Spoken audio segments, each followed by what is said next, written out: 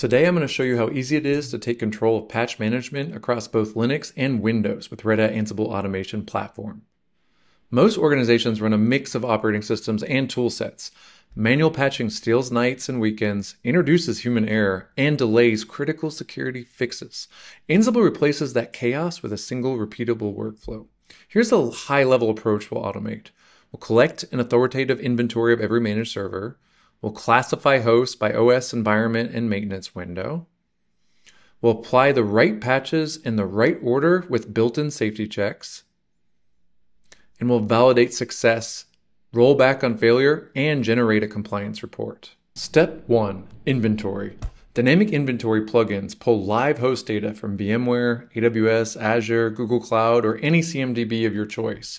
When we import hosts, we can use tags to separate servers by their operating system and label Windows servers, RHEL, anything else by using the keyed group directive. This allows us to run Ansible playbooks for specific operating systems. Step 2. Schedule. Inside Ansible Automation Platform, we can create a job template that runs during an approved window. You can even require a ServiceNow ticket before execution. Step 3. Patch. With Linux, we can use the DNF or apt module depending on the operating system, and we can wrap that in a role that snapshots LVM volumes or pauses critical services.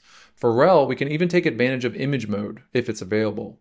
With Windows, we can do things like use the Win Updates module, which allows us to easily limit updates to just security and reboot only when required.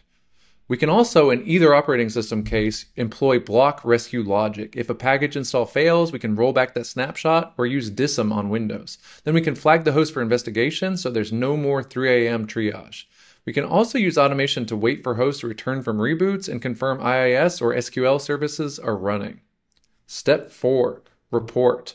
Automation Dashboard aggregates results of our automation so auditors can see which jobs executed and easily export to a PDF to allow your manager to follow along.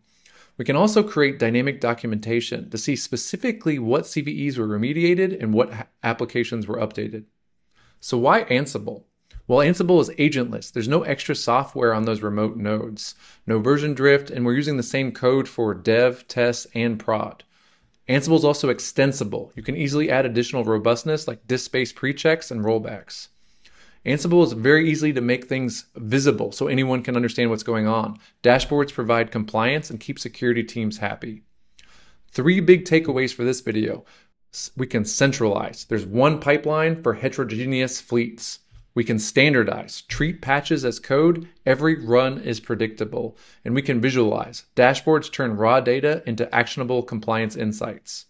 With Ansible Automation Platform, Patch Tuesday or any day becomes just another scheduled job. Your servers stay secure, your auditors stay happy, and your evenings stay yours. Thanks for listening and happy automating.